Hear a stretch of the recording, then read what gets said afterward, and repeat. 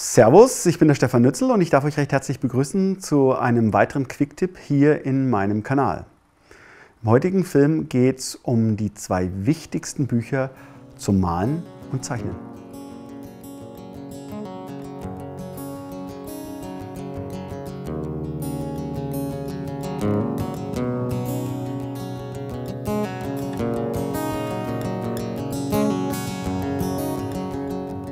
Ich gebe es ja zu. Der Titel war ein bisschen reißerisch. Jedoch steckt ziemlich viel Wahrheit drin, denn diese Bücher, die ich meine, haben konkret jetzt nicht wirklich damit zu tun, wie man zum Beispiel besser Öl malt oder Aquarell malt oder sonst was in der Richtung, sondern es sind äh, zwei Bücher, die mich schon äh, während meiner ganzen Malerlaufbahn begleiten. Und das eine Buch ist Max Dörner und seine Malmaterial und seine Verwendung im Bilde. Jetzt muss ich gerade mal spicken, habt ihr das gemerkt? Ja, auf jeden Fall, weil nämlich die Titel so ähnlich sind. Das zweite Buch ist Der Wählte, Werkstoffe und Techniken der Malerei.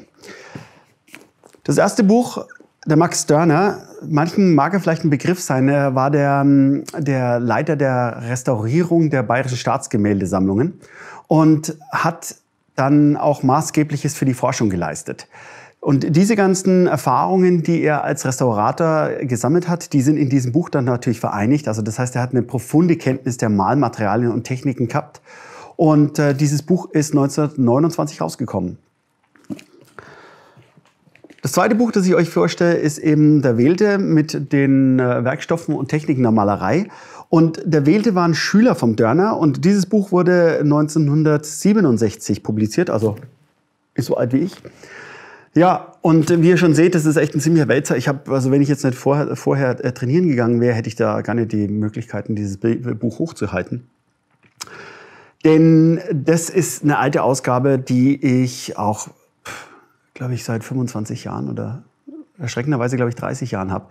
Denn äh, das ist eine Ausgabe, die damals 200 Mark schwer war. Und in der Ausgabe, was sie nämlich so dick macht, das sind die Techniken der Wandmalerei. Also das heißt, ungefähr die Hälfte des Buches ist Wandmalerei. Also falls ihr nicht unbedingt in die Freskotechnik oder das Graffito-Technik gehen wollt, dann braucht ihr das gar nicht. Und es gibt eine neuere Ausgabe. Was beim Dörner interessant ist, das ist, dass er aufgrund dessen, dass er Restaurator war, hat er zum Beispiel Kapitel drin, wo er beschreibt, wie denn die alten Meister gemalt haben hätten können. Und er versucht es nachzuvollziehen mit unserem heutigen Material. Und er ist nicht davon ausgegangen, dass er sagt, dass diese äh, Maler dann auch so gemalt hätten, sondern nur, wie man einigermaßen dorthin kommen kann. Als Fußnote kann ich euch noch tippen, dass ab irgendeiner Auflage, ich weiß es nicht mehr ganz genau, weil das ist jetzt auch ein Buch, das ist jetzt nicht einmal das Buch, das ich schon seit je habe, weil das, das ich einen Betrieb habe, das schaut viel mehr runtergeschmuddelt aus. Ich habe hier diese Ausgabe, habe ich bei der Caritas gekauft, also Caritas, nämlich Secondhand und es ist echt ziemlich gut in Shape und äh, hat, glaube ich, 12 Euro gekostet. Also das heißt, bei dem Buch würde ich euch auch empfehlen, dass ihr unbedingt eine Ausgabe nimmt, bevor sie der Thomas Hoppe bearbeitet hat. Denn der Dörner, könnt ihr euch vorstellen, dadurch, dass der schon seit 1929 auf dem Markt ist, immer wieder von verschiedenen Leuten überarbeitet wurde und auch aktualisiert wurde. Denn in, also in der Nachkriegszeit, also sprich 60er, 50er, 60er, 60er, 70er Jahre, war das eben so, dass die Acrylmalerei dazugekommen ist und die ist auch aufgenommen. Also beim Dörner ist das Interessante, dass der, äh, er durch die profunde Kenntnis der Maltechniken und durch die Restaurierung hat er ein paar Kapitel da drin, in denen er beschreibt, wie die alten Meister den gemalt haben hätten können. Und er versucht das Ganze zu replizieren mit den Materialien, die ihm zur Verfügung standen. Und er geht nicht davon aus, dass das tatsächlich so gewesen ist. Und dann in den späteren Auflagen, und ihr könnt euch vorstellen, dass das Buch von 1929, ihr könnt euch vorstellen, dass dieses Buch von 1929 in mehreren Auflagen existiert. Ich weiß gar nicht, wie viel das jetzt schon ist, die 20., 21., ich habe keine Ahnung. Und äh, es wurde dann nach Dörners Tod von unterschiedlichen Leuten bearbeitet. Und unter anderem dann äh, die letzte Auflage war vom Thomas Hoppe. Oder die letzten Auflagen waren vom Thomas Hoppe. Ich würde euch empfehlen, schaut, dass ihr das antiquarisch herbekommt und kauft euch nicht die Thomas Hoppe Ausgabe, denn In der Ausgabe ist es so, dass er diese ganzen super tollen Artikel rausgeschmissen hat. Und das ist so eine Sache, was dann etwas schade ist. Also, antiquarisch, ich weiß nicht, ich habe hier jetzt die 19. Auflage, na 17. Auflage, bearbeitet von Hans-Gerd Müller. Würde ich euch empfehlen. Ich möchte jetzt noch etwas den Dörner vorstellen, besser gesagt einfach mal mit euch durchblättern. Ich mache das dann auch beim Wählte nochmal. Und ihr seht schon, das war jetzt äh, der, ich habe keine Ahnung, wie das heißt. Und ich habe sogar ein Ex Libris drin von demjenigen, der es hier vorher gekauft hat.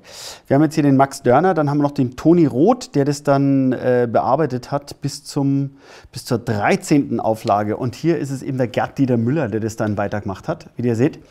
Und äh, der Thomas Hoppe, wie schon erwähnt, den sollte man vermeiden. Also das heißt, der hat das Buch dann ganz stark umgekrempelt und dementsprechend ist es dann fast nimmer brauchbar, finde ich. Also weil es dann zu arg in mal technische Analysen geht, die für uns Praktiker gar keinen Zweck haben. Und ihr seht schon, die Auflagen von 1929, 33, 36, 38, 41, na, die goldene Zeit. Äh, auf jeden Fall, warum der Dörner auch so bekannt ist, das muss man dazu sagen. Also wir haben hier eben auch dann die wissenschaftliche Beschreibung äh, mit den Farbmitteln, Pigmente, Farbstoffe, anorganische, organische. Also das heißt, es geht auch ziemlich tief. Das wird auch beim Wählte so sein. Darum kann ich mir jetzt beim Wählte dann auch sparen. Und ähm, wir haben hier dann auch Malmaterial, Gesundheitsschutz. Also es wird alles abgedeckt, äh, was jetzt hier auf den Farbtuben drauf sein kann. Und ähm, dann werden hier die Pigmente beschrieben, was ziemlich interessant ist, denn äh, es ist das, wie sie entstanden sind, wie sie hergestellt werden, dann die maltechnischen Schwächen, die maltechnischen Stärken, zum Beispiel von Kremserweiß, also das heißt Bleiweiß. Und es ist natürlich super, also das ist für so ein bisschen für leichte, äh, leichte Lektüre in der Nacht, also wenn man gut schlafen möchte, sollte man unbedingt die Pigmente durchlesen. Aber es gibt ja auch Leute, die finden das wahnsinnig spannend und dementsprechend hier Titandioxid, also ein Weiß, das wir alle verwenden. Und so werden dann alle Pigmente durchbesprochen, was richtig cool ist. Dann geht es zu den, zu den Bindemitteln. Da haben wir zum Beispiel hier die, äh, die, die äh, Gummi arabicum, also die, die, äh, die tierischen Leime, Casein, also das wären dann Hühnerei als Bindemittel, Kunststoffdispersion und dann hier nicht unmaßgeblich, die Malgründe. Und äh, da wird halt erklärt, aus was jetzt äh, Leinen gebaut wird, also das heißt Flachsgewebe, Baumwolle und wie eben diese verschiedenen äh, Materialien sich dann äh, in der Verwendung verhalten. Da Holz, wie es am besten verwendet wird, also wie es äh, macht. Also es ist wirklich, es deckt alles ab. Hier haben wir zum Beispiel ein Kapitel über das Grundiermaterial. Und diese, diese Kapitel sind natürlich super, weil hier hat man einfach dann die Rezepte. Das wird man dann beim Wählte auch sehen. Die Rezepte sind beim Wählte ein bisschen klarer, eben dann auch hier gekennzeichnet. Also da muss man natürlich hergehen und ordentlich dann mit dem Bleistift arbeiten. Das ist jetzt echt auch blöd, weil diese Ausgabe, ich glaube, die ist nie benutzt worden, die der Herr da vor mir gehabt hat. Und man sieht auch, dass da ähm, und dass da natürlich auch keine Notizen gemacht wurden. Und hier werden dann die Maltechniken vorgestellt. Fängt dann mit der Ölmalerei an und geht dann durch die verschiedensten Ölfarbsysteme, Harzölfarbe, Alkydharzölfarbe. Also das heißt, bei der Alkydharz, da sind sie dann schon äh, auch so, dass der Dörner das bestimmt nicht gehabt hat, sondern dass das dann auch Nachfolger, die das dann bearbeitet haben, mit reingenommen haben, weil das einfach eine Sache war, die dann im, nach dem Zweiten Weltkrieg dann erst gekommen ist, das Alkydharz. Das Alkydharz, da werde ich dann auch nochmal gesondert einen Film drüber machen, weil das ist auch ein Malmittel, das ich immer wieder verwenden werde. Ja, und dann sind eben auch hier, dann konkret wird hier beschrieben, es wird konkret beschrieben, wie zum Beispiel die Prima-Malerei funktioniert. Und jetzt seht ihr natürlich auch ganz gut, dass es hier keine Illustration dazu gibt. Und das schreckt viele Leute ab, weil wir wollen es ja natürlich sehr bunt haben und äh, möglichst natürlich auch in YouTube-Form. Wobei ich natürlich da mich auch als schuldig erklären muss, weil ich natürlich auch diese YouTube-Filme mache. Aber hier ist es so, dass man tatsächlich auch ein bisschen Vorkenntnisse haben muss, um sich die ganze Sache vorzustellen. Ich werde es jetzt einfach mal auch dann ein bisschen äh, beschleunigen. Hier haben wir jetzt einfach auch dann zum Beispiel die ganzen Malmittel mit ihren Rezepten. Dann haben wir hier Tempermalerei und Harzölfarbe, Pastellmalerei, äh, Acrylmalerei. Also das heißt, es wird alles abgedeckt. Wandmalerei hat er auch zum Teil abgedeckt, natürlich nicht so, so konkret und profund wie der, wie der wählte, weil es einfach auch ein Themengebiet ist, das tatsächlich nicht mehr so wahnsinnig populär ist. Also dementsprechend haben sie es einfach nur grob behandelt. Wir haben jetzt hier die Freskomalerei und hier wird dann der Kalk erklärt. Die Rezepte sind auch wieder da. Und dann haben wir, haben wir eben diese Kapitel, hier mit den Maltechniken. Hier haben wir die Technik des Rubens und der Niederländer, Harz, Ölfarbenmalerei. Und wie schon erwähnt, hat er in dem Kapitel das auch so, also hier haben wir zum Beispiel die Technik der Florentinermalerei des Trecento und der Trattato della Pittura de Cennini. Und äh, hier haben wir zum Beispiel die Technik der, des Van Dyck und der Altdeutschen, eine Mischtechnik. Und diese Kapitel sind wirklich absolut brillant, weil man kann dann auch wie nach Kochrezepten vorgehen und kann sich da mal drüber machen, falls es einen freien freuen sollte. Hier auf jeden Fall Techniken der alten Meister. Ja, das sind so mit meine Lieblingskapitel gewesen, äh, wo ich mich dann der Malerei genähert habe. Und er geht eben auch dann jetzt ins 19. Äh, Jahrhundert rein, um dann auch grob mal ein bisschen zu beschreiben, wie verschiedene Maler vorgegangen sind. Und da äh, beschränkt er sich dann auch sehr drauf, zum Beispiel bei Delacroix war das so, dass er sich dann sehr auf, das, äh, auf die Tagebücher von Delacroix bezieht und da Auszüge nimmt, wo der Delacroix sich dann auch konkret geäußert hat zu seiner Technik. Und es geht dann Arnold Böcklin, Hans von Marais, Wilhelm Leibel, Karl Schuch, ein Österreicher, ein Wiener. Und eine Sache ist Segantini. Eine Sache muss ich noch dazu sagen. Ich weiß nicht, ob er hier erwähnt wird. Das wäre natürlich schade. Doch, da haben wir ihn. Hier, Otto Dix. 1891 in Gera, 1969 in Singen gestorben. Äh, da ist es eben so, dass der, der, der, Dix sich sehr stark auf den Dörner bezogen hat, weil der Dörner hat eine Technik dann propagiert, das ist die Dörnersche Mischtechnik heißt es. Das heißt, das ist eine Öltempera oder besser eine Eitempera mit, mit äh, Ölanteilen und dann Harzölfarben drüber. Und diese Technik hat der Otto Dix in seinen Hauptwerken verwendet. Also das heißt, den Dix seine Technik ohne den Dörner würde es so nicht geben. Ja, und dann haben wir doch glatt für die visuellen Menschen unter uns am Schluss dann noch den Tafelteil. Ihr seht schon, die Bilder sind jetzt nicht gerade letztes Jahr gemacht worden. Und er beschreibt dann zum Beispiel hier jetzt den Bildaufbau in der Meschtechnik. Das heißt Kreidegrund, die verschiedenen Tönungen, die Vorzeichnungen, dann die Untermalungen und dann die Lasuren drüber. Also richtig, richtig toll, muss man ehrlich sagen. Also dann haben wir halt natürlich andere Techniken abgedeckt, wie jetzt die Pastellmalerei, William Turner, dann die Enkaustik, also das heißt äh, Wachsmalerei und dann geht es in dem Fall, hier sind zum Beispiel die Mumienporträts von Fayum, die man auch zum Beispiel in Wien ganz gut sehen kann. Sehr sehenswert. Wenn man bedenkt, dass die, dass die im frühes erstes Jahrhundert nach Christus sind, das heißt, die sind 2000 Jahre alt und wenn ihr die seht, die hauen einen wirklich um. Porträtähnlichkeit, wie aber auch die, die, der Erhaltungszustand. Und da muss man natürlich sagen, die beiden besten und haltbarsten Techniken sind tatsächlich ist es hier beschrieben, äh, sind die Enkaustik, also die Wachsmalerei und die Eitempera-Malerei. Also das heißt, Bindemittel Wachs oder Ei haben sich die Pigmente am besten erhalten. Hier haben wir natürlich dann den Van Eyck und da haben wir dann den Tiziano Vecello. Also, und hier ist es so, dass er aufgrund dessen, dass er in den bayerischen Staatsgemäldesammlungen äh, gearbeitet hat und dort auch die Restaurierungen gemacht hat äh, und in diesem Fall dann auch so, dass diese Bayerische Staatsgemäldesammlungen die Skizzen zum Medici-Zyklus vom Rubens haben und aber auch einige der Hauptwerke von Rubens, hat er sich mit Rubens ziemlich gut ausgekannt. Und hier ist es auch so, dass das hier eine Rubens-Skizze ist, wo man genau erkennen kann, wie der Bildaufbau ist. Und hier haben wir dann eine Kopie, wo er versucht, dann den Effekt der Untermalung nachzuvollziehen. Ja, es geht dann einfach auch noch durch die verschiedenen Maler, da geht es dann auch ins 20. Jahrhundert. Und dann eben Wandmalerei, äh, Glasfenster und das wär's. Hier seht ihr mal den, den, den Rücken. Auf jeden Fall sehr empfehlenswertes Buch. Beim Wählte ist es so, dass der Wählte Schüler vom Dörner war und zu der Zeit, wo er auch das Buch rausgebracht hat, war er Maltechnikprofessor an der Stuttgarter Akademie. Das heißt, wo der Dörner viel mehr aus der Restaurierung kommt und von den Maltechniken, äh, die natürlich basieren auf den alten Meistern, ist es eben so, dass beim Wählt es so ist, dass er auch aus der, aus der praktischen Anwendung kommt, wie er das auch dann die Maltechnik den Studenten vermittelt hat. So.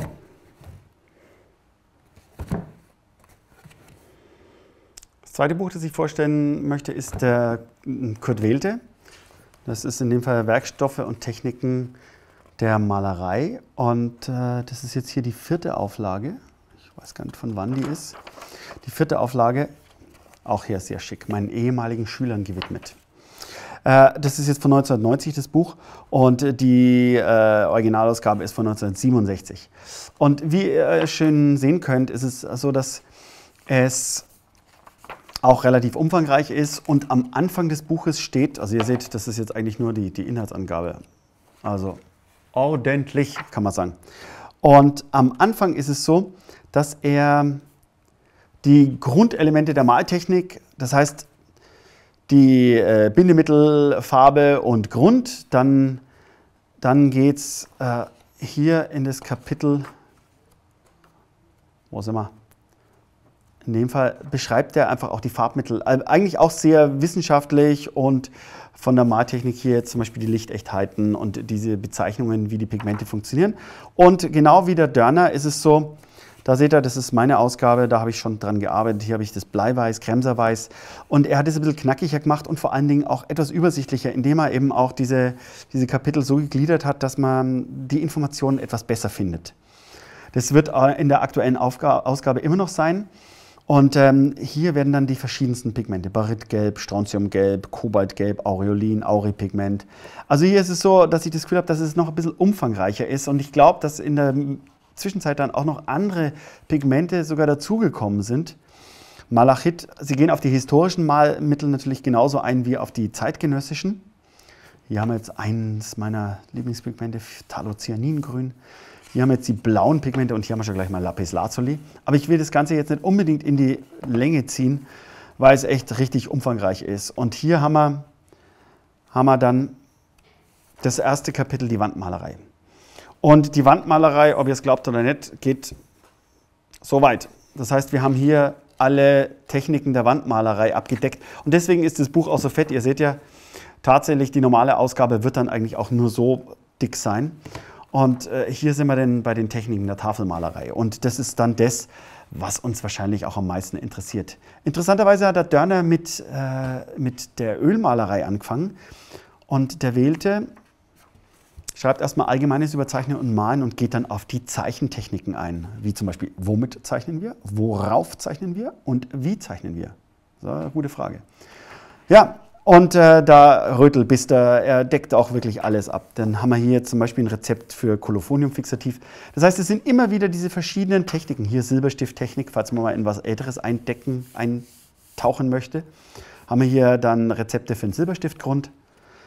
Also, da geht es dann auch weiter. Es sind Federn, Tuschezeichnen, die Zeichenflächen, die verschiedenen Papiere werden beschrieben.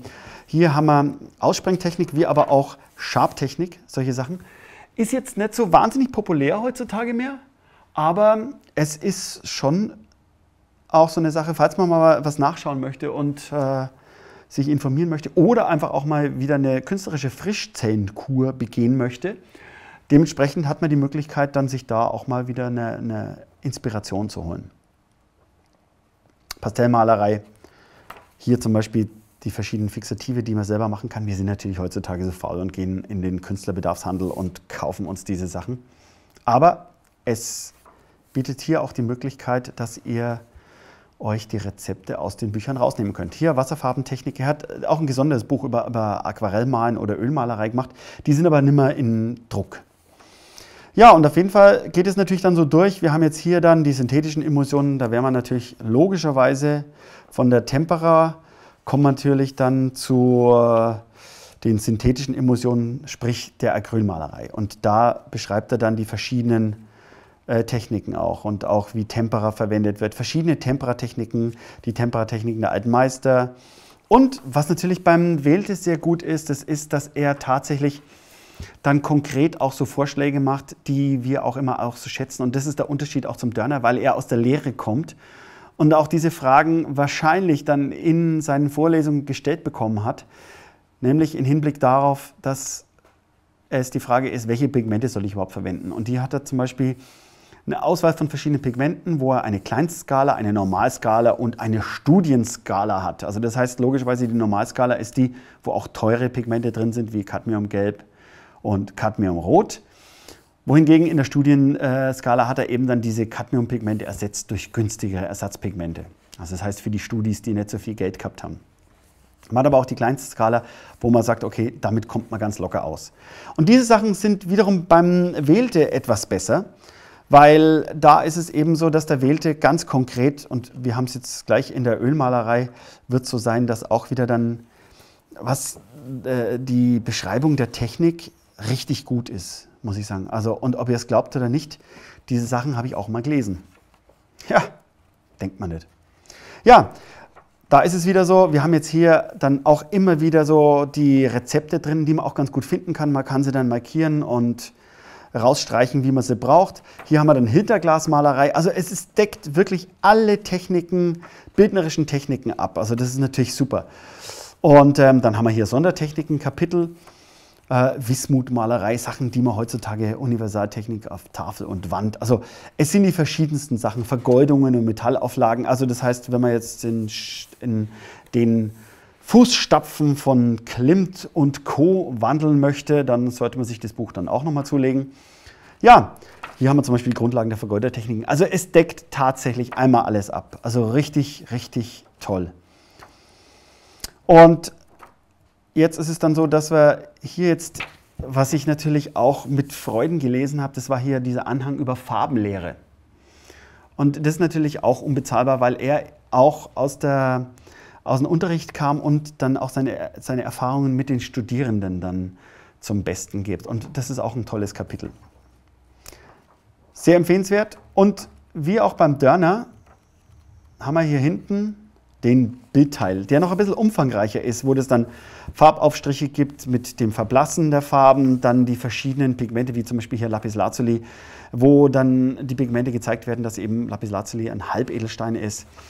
Dann haben wir hier den grundsätzlichen Malaufbau, wie die Problematiken sind, wenn wir jetzt zum Beispiel Schwundrisse haben. Also es ist wirklich alles abgedeckt. Dinge, die wir schon immer wissen wollten. Mosaikmalerei, das sind natürlich dann halt auch der Teil zur Wandmalerei. Aber wir kommen hier natürlich schon zur Ölmalerei, zu Zeichentechniken, verschieden getönte Papiere und Pastellmalerei, äh, Aussprengtechnik in Aquarell. Und hier ist auch ein gutes Beispiel dafür, wie so eine so eine Untermalung ausgesehen hat, die er dann äh, unterrichtet hat, weil es, wie ihr unschwer erkennen könnt, ist es ein Bruegel-Bild, ist eine Kopie nach Peter Bruegel. Und wir haben hier die Grisaille-Tempera-Untermalung und dann mit Harzölfarben überarbeitet. Ja, es geht dann wirklich so querbeet durch, durch die verschiedensten Sachen. Wir haben hier zum Beispiel ein Beispiel an einem, an einem impressionistischen Bild, wo zum Teil dann das Firnis abgenommen wurde, was wirklich interessant ist, wie die Bildwirkung verändert wird durch das Firnis. Seht ihr, wie gelb zum Beispiel die Wolken sind und wie die Himmelsfarbe sich verändert. Also das heißt, die Farbwirkung ist eine total andere. Ja, also es ist so, es geht wirklich auf alles ein. Das sind hier jetzt dann auch ähm, die Forschungssachen, wie zum Beispiel jetzt äh, der Röntgenfilm die verschiedenen Pigmente aufnimmt. Also Kremserweiß ist natürlich so das populärste Pigment, weil das natürlich in den Röntgenaufnahmen äh, immer wieder gut zu sehen ist. Und dann auch Farblehre. Dann haben wir noch einen Schwarz-Weiß-Teil, weil damals natürlich die Reproduktionen relativ teuer waren. Und es geht, also ich finde, es sind natürlich echt geniale Beispiele drin. Wo kommt es jetzt? Ich habe es doch gleich. Nämlich auch wieder Otto Dix wird gezeigt mit dieser Mischtechnik. Das heißt hier diese Untermalung, Eitempera-Untermalung und Harzölfarben. Und hier hat er wirklich konkret dann die Studien oder die Stadien eines Otto Dix-Bildes, was ich natürlich super spannend finde zu sehen. Und es geht natürlich dann auch dahin, äh, restauratorische Geschichten, wie aber auch zum Beispiel, wie Keilrahmen dann abgespannt werden, transportiert werden, große Formate, also Segantini gemalt hat.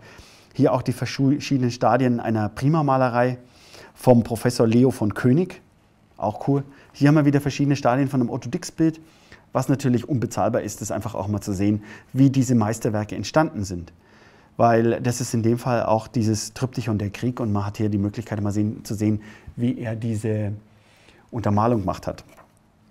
Also alles in allem auch ein richtig cooles Buch, sehr empfehlenswert. Hier die Rückseite auch sehr schick, der Rücken. Ich habe leider logischerweise den Schutzumschlag nicht mehr. Tuscheflecken, harter Betrieb, sehr empfehlenswert. Was beide Bücher gemein haben, ist, dass sie fast alle bildnerischen Techniken abdecken. Es geht von Zeichnen, verschiedenste Papiere über die verschiedenen Pigmente, wie Kohle, wie man Kohle selber machen kann und vor allen Dingen natürlich Malmittelrezepte, Leinwand grundieren, Papier grundieren, äh, Sgraffito-Gründe, äh, nenn es. Also das heißt, es ist so, wenn man dann auch tatsächlich Rezepte braucht, also auch was nachschauen möchte, wie man zum Beispiel eine Grundierung ansetzt, was wie zum Beispiel die Malmaterialien sind, also die Maluntergründe, Leinen und und und, hat man die Möglichkeit, in beiden Büchern nachzuschauen. Und äh, da ist es auch so, dass ich mich jetzt nicht wirklich entscheiden kann, welches da jetzt auch besser ist. Äh, weil es ist so, dass eben im Wählte zum Teil auch aus der Lehre Dinge drin sind, wie zum Beispiel er mit den Studenten umgegangen ist. Also, oder auch, dass er sagt, er hat eben in den 60er Jahren Maltechnik dort unterrichtet und hat dann auch Leute gehabt, die, die zum Beispiel beim Hans Hartung studiert haben und somit relativ, ab, nicht nur relativ abstrakt gearbeitet haben mit Strukturen. Und er hat dann auch alle dazu gebracht, dass sie auch mal eine altmeisterliche Kopie machen mit Eitempera-Untermalung und Harzöllasuren oder überhaupt Öllasuren. Und er meinte dann auch, oder er meint in dem Buch, dass es äh, den abstrakten Malern auch nicht geschadet hätte. Denn es ist eben so, dass in der Malerei, egal welches bildnerische Konzept man hat, es ja dann trotzdem darauf ankommt, welche Untergründe verwendet man und wie verwendet man seine Farben, dass sie dann auch eine gewisse Haltbarkeit bekommen. Danke fürs Zusehen und äh, ich hoffe, es hat euch auch etwas inspiriert, denn ich möchte auch in der nächsten Zeit immer wieder mal verschiedene Bücher vorstellen, die ich als wichtig empfinde, die mir auch geholfen haben, die mich inspiriert haben. Und in diesem Sinne freue ich mich über Kommentare. Ihr könnt mir natürlich auch Anregungen geben, in welche Richtung ich weitermachen sollte oder welche äh, Themen ihr vielleicht auch mal abgehandelt werden haben möchtet. Äh, komplizierter Satz. Ja, außerdem freue ich mich über Likes und wenn ihr den Kanal abonniert und wenn ihr ihn abonniert, könnt ihr diese kleine Glocke drücken. Dann bekommt ihr auch immer die Benachrichtigungen, wenn ich einen neuen Video hochlade. Bis dahin wünsche ich euch alles Gute und bis dann. Servus.